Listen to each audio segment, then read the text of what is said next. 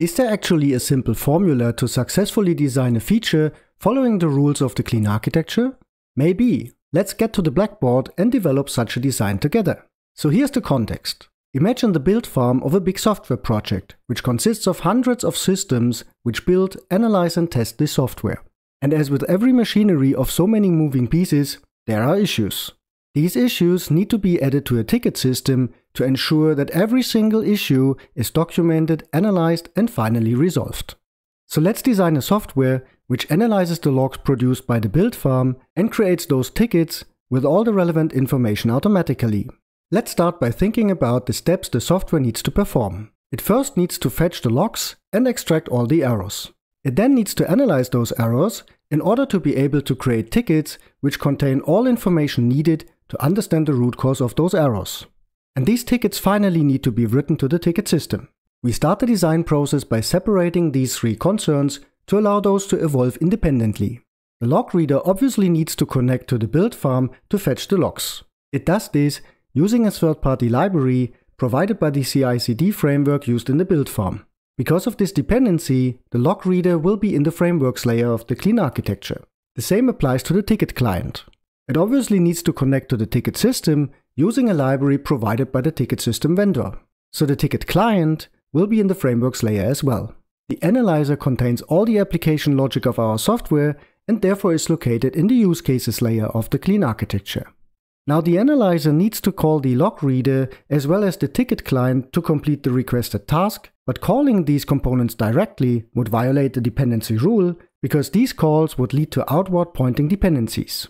To resolve this conflict, we apply the dependency inversion principle. So we introduce an interface iLogReader in the use cases layer, which is implemented by the log reader and which is then used by the analyzer to fetch the logs without violating the dependency rule. The same technique we apply to the ticket client.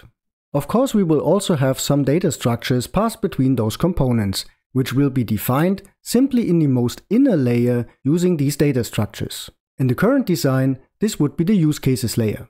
Okay, we got the basic setup of our software following the clean architecture. The major concerns are separated and all dependencies are pointing into the right directions. Now imagine we put lots of information in those tickets. So we definitely need some proper formatting of the ticket description so that it remains readable. Luckily, the ticket system supports HTML for the description field. But where do we put the HTML creation in our design? In the clean architecture, this would be the job of a presenter located in the interface adapters layer. Now we want the analyzer to hand over the created ticket objects to the presenter, but of course we need to apply the dependency inversion principle here again to not violate the dependency rule.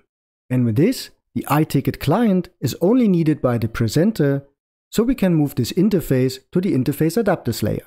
We also create a dedicated data structure to pass the HTML formatted ticket to the ticket client. The reason is that we want to be very explicit in our design. Seeing a ticket or an HTML ticket object in the code, it should be obvious whether this object contains raw data or formatted data. We also want to allow these two classes to evolve individually.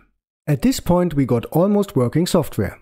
We only need to add the main component which composes the different pieces together and finally calls the analyzer to start the whole process. In a command line application, this would be the program class. Now we could actually execute our software. But there is still one important aspect missing in our design. There are no tests.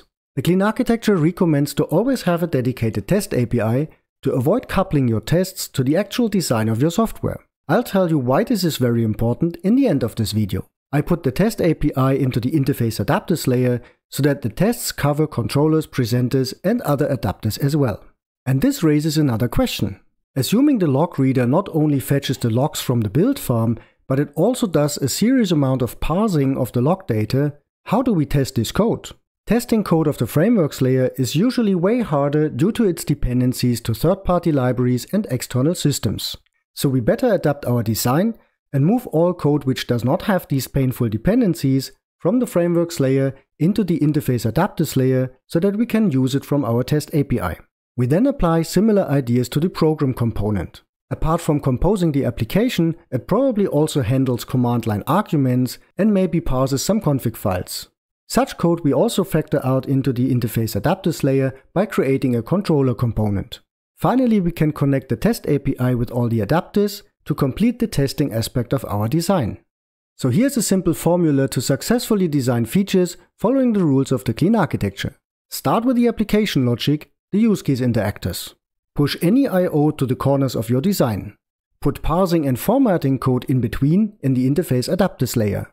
And apply the dependency inversion principle to have the outer layers depend on the inner layers and not vice versa.